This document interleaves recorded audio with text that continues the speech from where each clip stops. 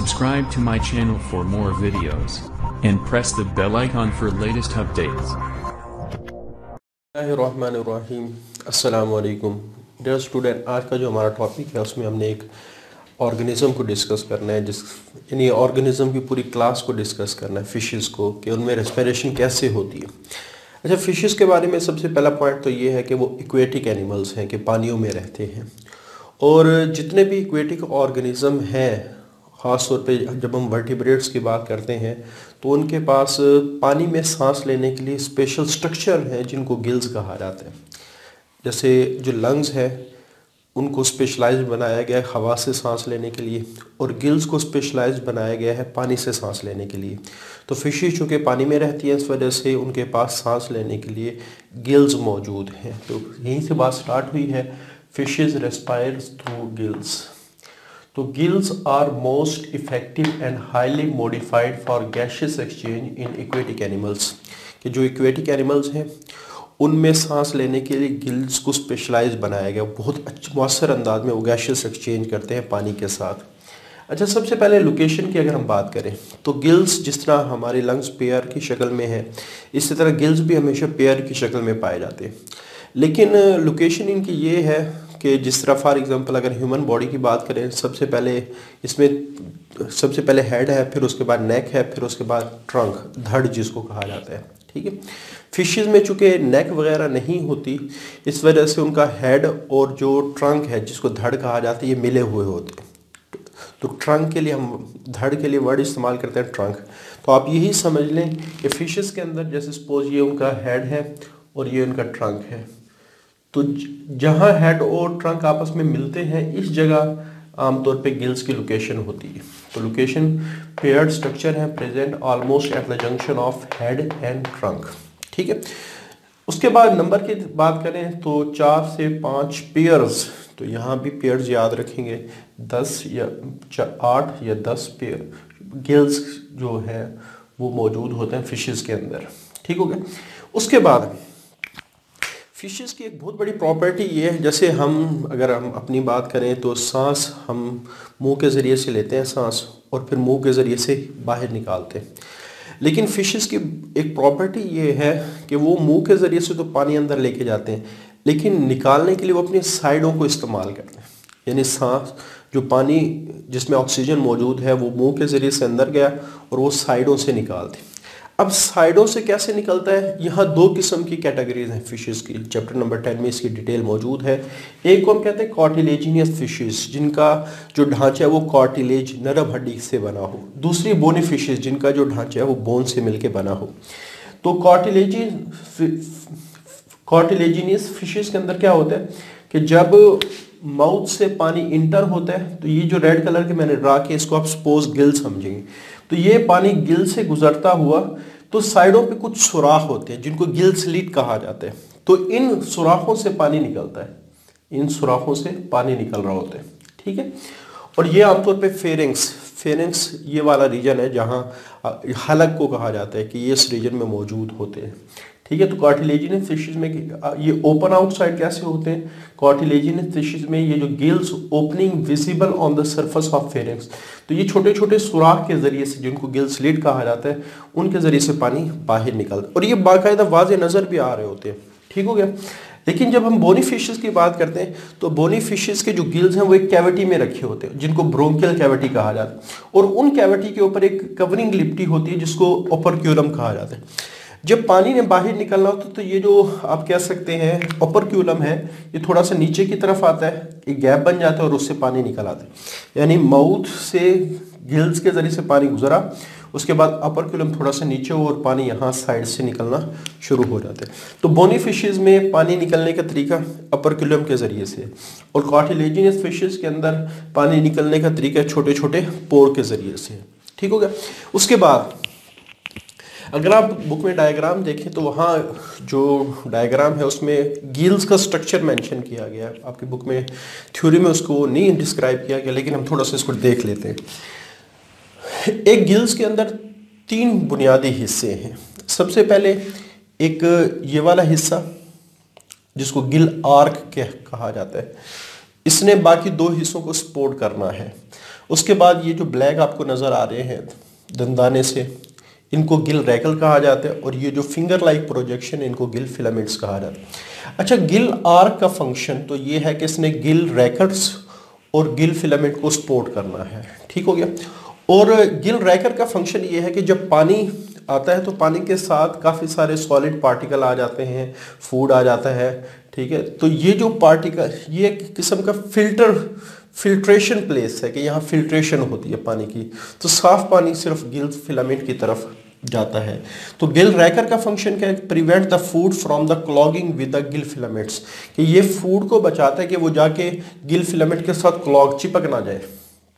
या कोई भी सॉलिड पार्टिकल आया है पानी के साथ तो इनकी कोशिश होती है कि वो सॉलिड पार्टिकल या फ़ूड के पार्टिकल इस गिल फिलामेंट के साथ ना आए। और गिल फिलामेंट की अगर बात करें तो गिल फिलामेंट के ऊपर ब्लड वेसल लिपटी हुई होती है। ये ब्लड वेसल ऐसे लिपटी हुई होती तो पानी जब इन गिल फिलामेंट से गुजरता है तो ऑटोमेटिकली फिर गैशियस एक्सचेंज होता है। यानी ब्लड से कार्बन डाइऑक्साइड आती है पानी के अंदर और पानी से ऑक्सीजन जाती है ये ब्लड वेसल्स के अंदर। तो these are the site for the gaseous exchange तो ये वो जगह है जहाँ गैशियस एक्सचेंज हो रहा है। तो गिल फिलामेंट का फ़ंक्शन क्या है? They are the finger like projection ये फिंगर लाइक प्रोजेक्शन है। वियर ऑक्सीजन इज़ एब्जॉर्ब जहाँ ऑक्सीजन जाती है ब्लड में, और carbon dioxide is release carbon carbon dioxide बाहर की तरफ़ आती है। अच्छा वेंटिलेशन सबसे पहले तो आपने याद रखना है कि जो गिल्स है it provide large surface area for the gaseous exchange ठीक है, इसके अंदर काफ़ी सारी, यानी सर्फ ये जो फिंगर लाइक प्रोजेक्शन है, इनको काफ़ी सारी सर्फेसिस बन जाती हैं, जिसकी वजह से वेंटिलेशन या आप कह सकते गैशियस एक्सचेंज बहुत अच्छे अंदाज में होते अच्छा एक और बात, जैसे हम जो सांस ले रहे हैं, हमारा जो सांस है वो हर वक्त अंदर जा रहा है और हर वक्त बाहर आ रहा है। इसको हम कहते हैं कंटिन्यूसली वेंटिलेटेड हो रहा है, हमारे लंग्स और एयर के दरमियान में वेंटिलेशन कॉन्टीन्यूसली हो रही है। तो इसी तरह, जिस तरह हम हर वक्त सांस ले रहे हैं, हवा को अंदर लेके जा रहे हैं, हवा को बाहर लेके जा रहे हैं, इसी तरह फिशेस ने चूँकि पानी में सांस लेना है, पानी में रेस्पिरेशन करनी है, इस वजह से वो मुसलसल पानी को अंदर लेके जा रहे हैं और अपने गिल ओपनिंग के ज़रिए से बाहर निकाल रहे हैं। ठीक हो गया? ठीक है तो सबसे पहले तो आपने याद रखना है गिल्स का सरफेस एरिया ज़्यादा है, जिसकी वजह से यहाँ बहुत अच्छे अंदाज में गैशेस एक्सचेंज होते हैं। उसके बाद जो gill surface is all time ventilated by constant flow of water तो जो गिल के सरफेस है, उसमें मुसलसल पानी का फ्लो हो रहा है। ये बिल्कुल इसी तरह जैसे हम सांस हर वक्त ले रहे हैं। हवा हर वक्त अंदर जा रही है, हर वक्त बाहर जा उसके बाद वाटर फ्लो की बात करें, जैसे भी मैंने डिस्कस किया कि जो मछली है, वो मुँह के ज़रिए से तो पानी अंदर लेके जाती है, लेकिन निकालते अपनी साइडों के ज़रिए से। तो यही बात लिखी गई है कि water enter through the mouth mouth के ज़रिए से इंटर होता है पास ओवर द गिल्स तो गिल्स के ऊपर से गुजरता है and moves through the gill opening और फिर वो जो गिल ओपनिंग के सुराख हैं, उनके ज़रिए से बाहर निकलते हैं। अच्छा फिशेस के अंदर जो हार्ट है, वो सिंगल सर्कट है। सिंगल सर्किट हार्ट से मुराद क्या है। यानी अगर हम हार्ट में सिर्फ़ एक डायरेक्शन में ब्लड फ्लो करे तो उसको हम सिंगल सर्किट हार्ट कहते हैं। जैसे फॉर एग्जांपल, मैं अगर बात करूँ छोटा सा सिस्टम, बॉडी में जब ब्लड जाता है तो बॉडी उस ब्लड की ऑक्सीजन को इस्तेमाल करती है। ब्लड हो जाता है डीऑक्सीनेटेड ब्लड तो वो ब्लड आता है हार्ट में। हार्ट के डिफरेंट चैम्बर से गुजरता हुआ, ये जाता है गिल्स में। और गिल से दोबारा चला जाता है बॉडी में। अगर आप देखें तो ये ब्लड की जो डायरेक्शन है, वो सिर्फ़ यूनी डायरेक्शनल है, कि एक तरफ़ से इंटर हुआ, दूसरी तरफ़ से चला गया।